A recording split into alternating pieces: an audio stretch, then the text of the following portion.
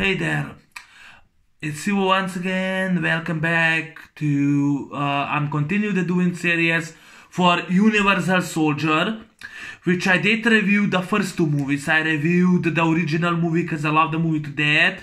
I reviewed uh, the sequel 99 Universal Soldier: The Return. So now I'm gonna review Universal Soldier 2 Brothers in Arms came out 1998, which was actually Showtime. It was actually on Showtime, uh, made for the on TV channel, which was uh, which was actually the pilot uh, movie for the series. They were for actually mini series. They wanted to do the mini series of Universal Soldier, and this is actually a Canadian TV series. And no wonder this movie got 3.0 on IMDb. This movie was poor. It was bad, awful acting. It was just terrible. Oh my god. Uh, well, I saw I saw worse movies. You know, it's really sad that only two people did review uh, those two bad TV TV movies, and I'm I don't know. Fuck it, I'm gonna do it anyway, cause uh, I wanna. I said I'm gonna review all six Universal Soldier movies. I reviewed the first two movies. This was made. Uh, this was actually made for uh, for TV movie, more for made for video. I think was only released on VHS. If I, it was was released on TV, but uh, yeah, Universal Soldier 2.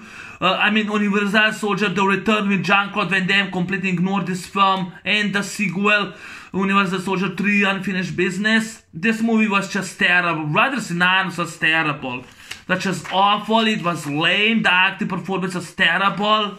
And of course, directed was by um was by Jeff Woolnough. Never heard about it. Written by Peter M. Lenkov, who was producer by this movie, Demolition Man. But this movie, oh my god, you know. So was released on 27 September on, on Showtime 1998. Stars Matt Battaglia, Andrew Jackson, Michael Copeman, um, Gary Busey, Richard McMillan, um, Aaron Tager, Barbara Gordon, Chandra West, um, Eric Bryson, Kevin Rushman, Desmond Campbell, Jeff and Jeff Wincott, who also stars in this movie.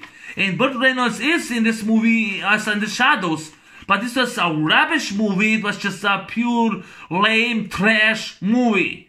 But okay, the movie uh, starts off when the first movie was ended. Just this time in Luke Devereaux role steps uh, in uh, Jean-Claude Van Damme steps Matt Battaglia, which is a terrible actor. Never heard about him. And uh, of course, Chandra West uh, steps in the shoes of Veronica um, Roberts, who was previously played by Ally Walker. And I just realized, I just right away noticed that Chandra West is a Canadian. This is a Canadian movie. I noticed it right away her accent. So yeah, that's the, the, the that's the reason this movie was was made for TV because it was uh, filmed in Canada all the time. You know, it was like a fucking Canadian movie.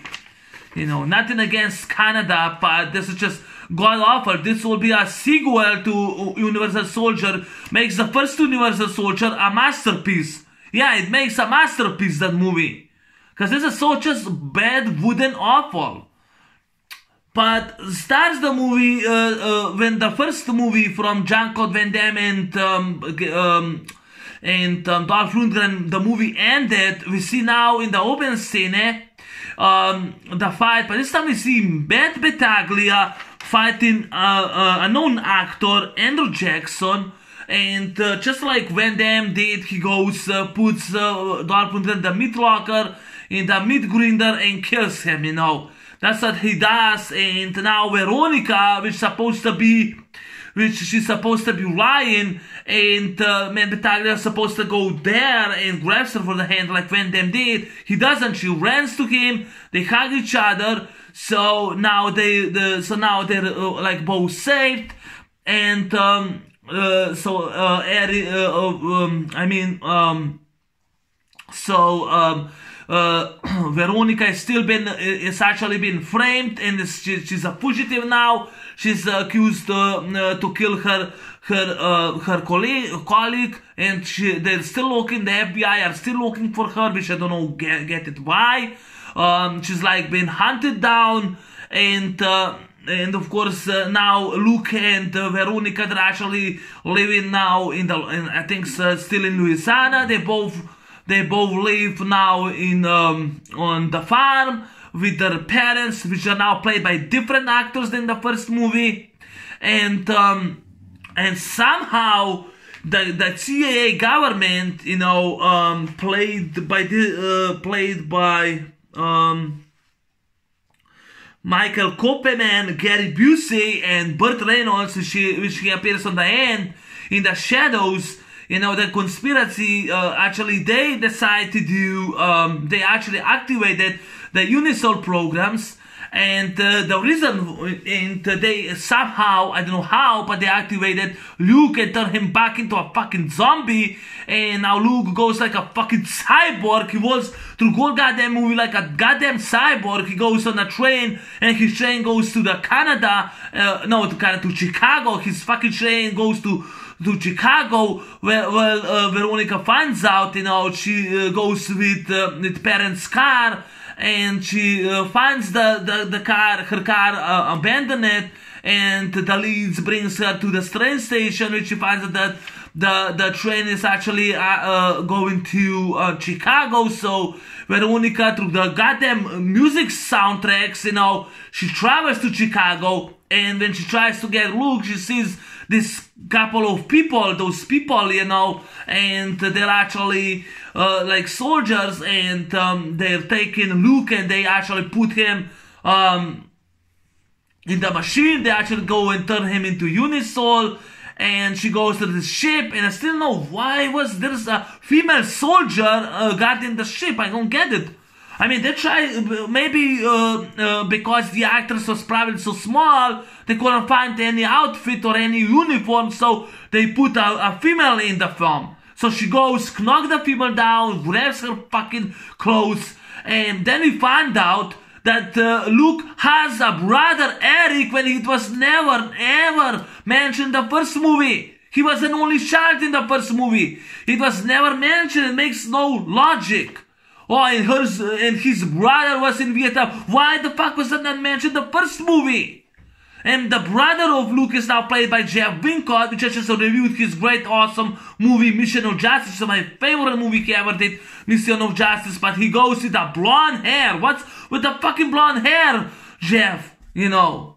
And he's not a bad, but yeah, it is because he wears a blonde hair. And she goes She's he's now uh, he's now uh, uh, I think uh, um, uh, he's now Sergeant Eric uh, Devereaux and he's a GR5. She goes and activates him. They try to escape, but uh, in the process with the with the scientists and Unisols, they actually both of them get caught in this in this truck and um, and that's it.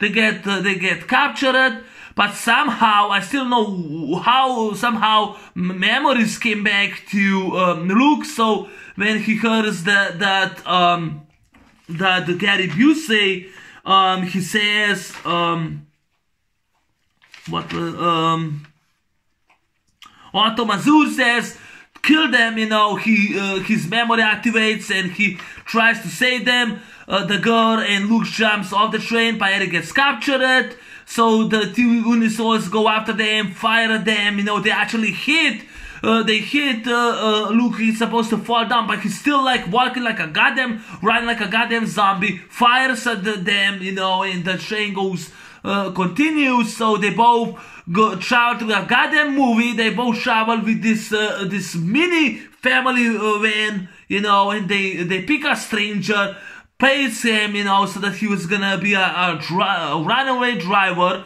And uh, uh, of course, on the cornfield, you know, first off, the, the, once again he's naked and acts like a rip of the first movie. And Chandra goes and cuts the, the, the thing that tracking that device once again, just like in the first movie, completely off the first movie. And uh, he gets uh, from Gary Busey uh, a order that the, where, where they're gonna meet and um, they they now uh, both of them with, with this uh, runaway driver go to the to uh, to the meat place and they go and, and steal the um, they go and steal Eric. And they make an explosion with a with completely classic orchestra just like in Face Off John Woo's Face Off you know over the rainbow the same garbage with a classic music orchestra. What the fuck is it classic musical orchestra goddammit? You know. So they escape and um, so now now the guy doesn't want to get paid 100 bucks he escapes you know. So those, those two brothers go to the bar and uh, somehow they track them to the bar. Um, Gary Busey also takes over, kills, uh, uh, he goes and kills this guy, um, lieutenant called Jack Cameron, Cameron. He goes and kills him, takes over the project. And the reason it's called Brothers in Arms because um, he wants to uh, smuggle for the uh, the diamonds. He is uh, selling uh, Universal Soldiers on the on the black market for the arms dealers so that he get rich. You know, so that that's all about. There is no project. Or there, there is no project, there is no sci-fi in this movie. There barely is any action at all. It's actually about uh, about uh, Gary Busey selling uh, um, those uh, Universal Soldiers on the market so he can get rich by by uh, by, by getting the, the diamonds, you know, which are worth millions. And that's that's completely stupid. There's no sci- science fiction in this movie, you know. So on the end in this bar, you know, they, they go and pool and play the pool on it, and uh, uh, uh, Gary Busey shows up and he captures Chandra West, you know, Veronica, and I don't know why was even Veronica like a, some uh, uh, like some martial artist fighting Gary Busey. Gary Busey barely even punches her back.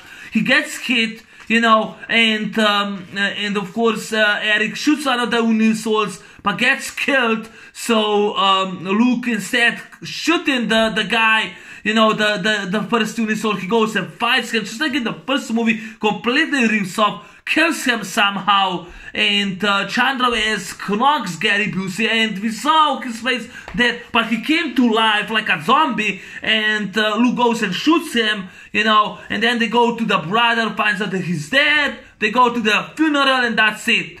And the movie just completely ends with, uh, without any explanation. There's no science fiction in this movie. If they try to do uh, the X Files, which was that time very popular, they failed. If they try to do a miniseries, they failed. I would rather watch this film. This is actually two version miniseries. The um, 13, The Conspiracy. Watch these two movies. This is how they do. You know, this is how you do. You know, the, the 13, The Conspiracy, much better than, than all four Bourne movies. Or all five Bourne movies. That's how you do a movie. They're supposed to be, if they try to do uh, a conspiracy or something, they should learn from this movie, even though this movie was re released after this, this god-awful Canadian flick. But this was just trash. I mean, the acting, the story was terrible. The acting, for Matt Battaglia was god awful. He was the worst of the film. He was like a goddamn walking zombie through whole goddamn movie. Did not even step in the shoes of Van Damme. He was god awful. I barely heard about him. Chandra West, she's a Canadian. Her accent is Canadian. Veronica Roberts supposed to be American, not Canadian. You know, that's kind of fucked her up. They they hired a Canadian actress and not American actress, you know. So that's another wooden problem and another god bad awful acting performance. This movie was just god bad awful, you know. It was just terrible. It was uh, even the fight scenes were like laughable. I was like laughing my ass like Gary Busey gets hit. You know, I love Gary Busey in this movie. You know, Lethal Weapon. This movie I love him Predator 2. I love him in Eye the Tiger. I love him in Point Break. I love him in uh, Under Siege. You know, even I love that that underrated direct-to-video movie from 1987, Bulletproof, which he played McBain. You know, even in that movie he was much better. But they completely, I mean, the he's not the worst part of the film. The worst part, the, the bad actor, the worst part is Matt Battaglia. This guy is incompetent actor. You know, he was terrible. There was no excitement. The actions against sequences are laughable, they're corny, they're terrible. They, they, they're just, they're just god awful, you know. There's barely anything happened in this movie. This is just uh, really trash. No wonder it was released on VHS. And it got only got what, three on IMDb? You know, no wonder. And this was like made a sequel to the, the Universal Soldier with Van Damme and Dolph Lundgren, which is one of my favorite action movies of all time. You know, yes, it's my personal favorite movie. This just wasn't, this is like in a bad time, you know. Just wasn't that, that awesome, that spectacular. And I know it was like low budget, but that's nothing to do. They still could try to do much better. The movie could have been much better executed, but it wasn't. You know, so. Oh my god, so this movie was just terrible, you know, terrible, terrible, you know, forgettable. I mean, uh, Matt was terrible actor. It was wooden, it was just awful. I mean, I don't know what what they tried to do, you know. If they were, were hot, if they would want to do a good movie, they could have learned from this movie. They could try to do this movie, 13, The Conspiracy. Or uh, uh, this was released after. They could the bullshit. The X Files was actually in uh, the X Files was actually 1993, like this movie, Demolition Man. But they but uh, um, they were like releasing season four and five the time. You know, actually was season five the time and six, and they could run from the X Files, make it more uh, uh, more exciting, make it more uh, uh, more more fantastic, you know, more more intense, more exciting, you know, so that the, the viewers would be more attracted, you know, by mystery, and that's what they failed. They didn't do almost nothing about this film.